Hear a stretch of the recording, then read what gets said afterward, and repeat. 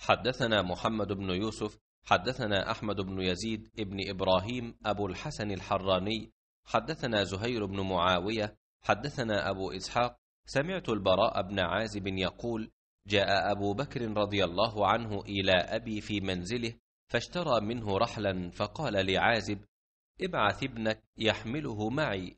قال فحملته معه وخرج أبي ينتقد ثمنه فقال له أبي يا أبا بكر حدثني كيف صنعتما حين سريت مع رسول الله صلى الله عليه وسلم؟ قال نعم أسرينا ليلتنا ومن الغد حتى قام قائم الظهيرة وخلى الطريق لا يمر فيه أحد فرفعت لنا صخرة طويلة لها ظل لم تأت عليه الشمس فنزلنا عنده وسويت للنبي صلى الله عليه وسلم مكانا بيدي ينام عليه.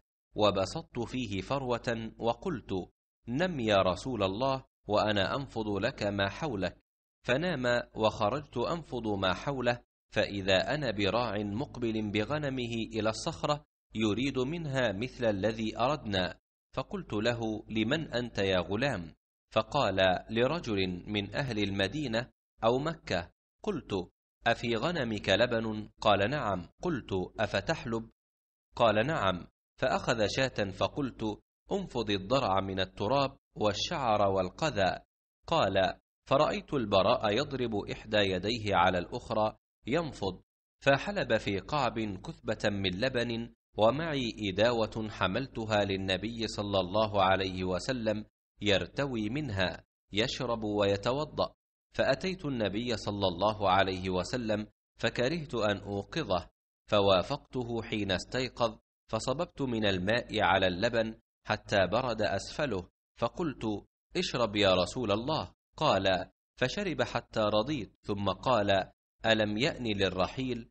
قلت بلى. قال فارتحلنا بعدما مالت الشمس واتبعنا سراقة بن مالك. فقلت أتينا يا رسول الله. فقال لا تحزن إن الله معنا.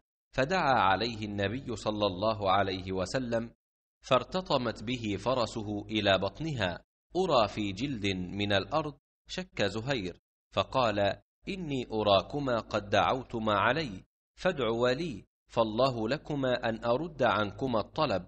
فدعا له النبي صلى الله عليه وسلم فنجا فجعل لا يلقى أحدا إلا قال قد كفيتكم ما هاهنا فلا يلقى أحدا إلا رده.